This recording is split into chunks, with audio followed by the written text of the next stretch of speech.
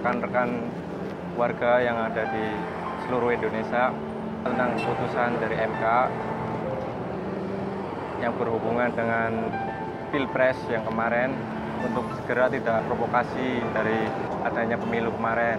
Ya intinya jangan ada mengadakan demo-demo lagi lah harus menerima tentang kekalahan gitu. Jangan menuntut apa apa-apa ini curang, apa-apa ini curang.